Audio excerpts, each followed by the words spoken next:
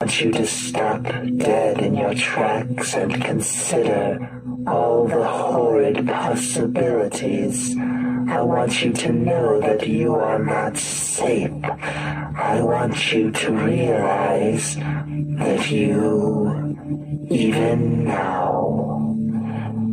are not alone.